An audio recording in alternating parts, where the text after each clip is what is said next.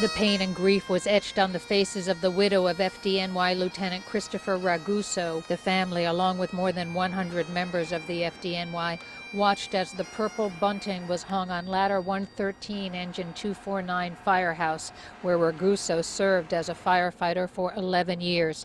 Raguso and six others were killed in a helicopter crash in western Iraq after flying low to avoid detection when the rotors hit power lines.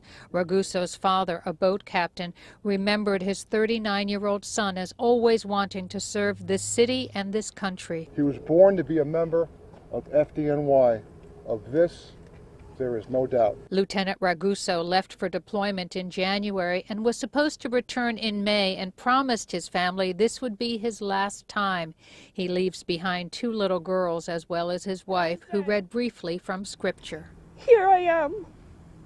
Send me that others may live.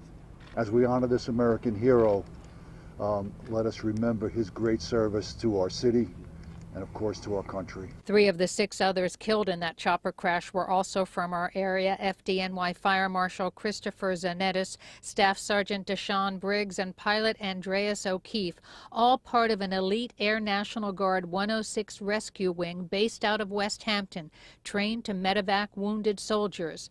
But this was the day to remember Lieutenant Raguso of the FDNY. He was a big, gigantic teddy bear. Uh, he had the heart uh, size of a lion. That the, the guy did anything for anybody, and uh, I wish we had done more for him.